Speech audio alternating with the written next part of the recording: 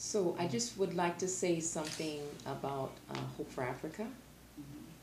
Uh, it is a uh, it is a 501c3. Uh, it's an international non-governmental organization with status at the United Nations um, Council of Economic and Social Development. Uh, we are have uh, our headquarters in Benin, and the president, the director, Africa director, is Mr. Bernard Ajibodo uh, in Porto Novo, uh, Benin. Uh, we are involved in development. We've done a lot of work in, in education. We've just finished educating a young man uh, from the King's Kingdom, from the town of Ganvié. And he is now getting ready to go back and open up a clinic in Ganvié uh, to study um, for the research on, uh, malaria and diabetes and uh, uh, the, the, the, disease, uh, which um, attacks obviously the, the town of uh, Ganvié because it's on the on water. the water. Uh, we have a relationship with. I was a former Fulbright professor to the Republic of Benin, and that's how I was blessed to be in contact with the King and Mr. Ajibodo. I taught at the University uh, Université d'Abomey Calavi from 2001 to 2003 in the, the Department of uh, English, uh, Flash, that is a the Faculty of Letters, um, that Arts and Sciences we'd say here. Uh, and during that time, I had the pleasure of just being swooped up and by Mr. Ajibodo Bernard and, and his family uh, and just taken care of. Uh, I was able to be brought deep into the tradition, into the culture, to learn and to study many things outside of teaching. Uh, and um, before I left, my students uh, came to me and uh, because I was always talking to them about their role in development. You have something to do. You can't wait on the government. You need to get out and do something yourself, make your own opportunities. You know, very American type stuff.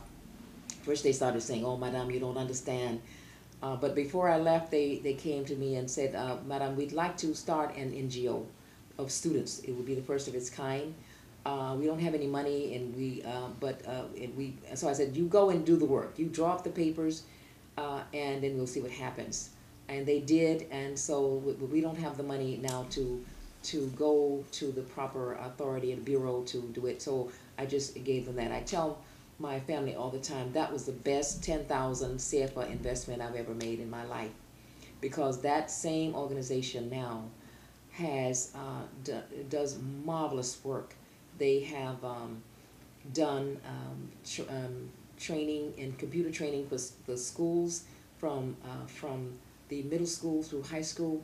They have worked with um, with um, automation for the uh, members of mayor's offices, the mayor's office of Calavi, of, uh, of uh, Porto Novo, uh, of uh, Cotonou, um, they all the way up to Savalou and Abomey, yeah. all over the country. Uh, they uh, and every year we work with them to give out a prize to a scholarship rather to the best performing students at the university. Uh, we just did that in, in June when I was there. Um, we've been doing that since maybe 2005 or something like that. Uh, so they have grown, and I've seen what young people in Benin can do. I've seen what young African people can do in Ghana uh, when, when they are uh, well directed and, and, and their talents mm-hmm. are allowed Absolutely. to be uh, showcased. Uh, so I have great faith in the, the youth of Africa, the youth of Benin. Yeah. Uh, and with the help of the king, we also uh, have a program every uh, in December during uh, International AIDS Week. The king himself supports this program. He holds workshops in the in the in the uh, royal um, uh, compound for young people to come.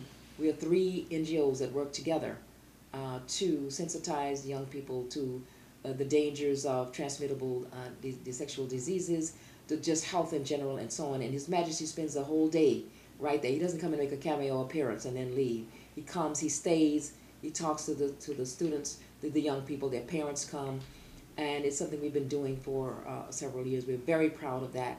This is a working king, I have to say that. He's a king of action. He doesn't sit in his palace uh, and wish that things would happen. And this is why he's here today. Um, and what he said about coming and offering uh, his, his apology. He said earlier, in my heart, when I was young coming up, I knew what happened and always hurt me in my heart. But when I was invited by Wheelock in 2008 I knew I had the opportunity to uh, make this apology, and he did so at the state legislature in Massachusetts, in the city council halls of, of Boston, and the churches, the, and the universities, everywhere he went.